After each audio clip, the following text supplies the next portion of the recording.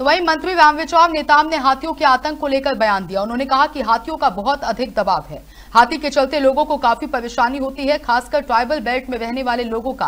रात में सोना मुश्किल होता है। उन्होंने बताया कि इस मुद्दे को लेकर हमने केंद्रीय मंत्री के पास प्रस्ताव रखा कि इसके लिए कोई स्पेशल योजना चलाकर उन्हें सुरक्षित रखा जाए। इसके साथ ही कांग्रेस संगठन में बदलाव को लेकर मंत्री नेताम ने तंज कसा। अब उनका मामला है किसको फेर बदल करते हैं, किसको भेजते हैं अब उनके पास जितने ताश के पत्ते हैं, उसी में से फेंट रहे हैं। रिज़ल्ट तो बहुत आगे कुछ होना ही नहीं है। तो इसलिए इनको तो अभी उसी ताश पत्ते में से बावन पत्तों में से ही फेंटना है, मिलाना है। और कहाँ से निकालेंगे और क्या निकलेगा? जहाँ भी निकले वो जोकर ही निकलता है।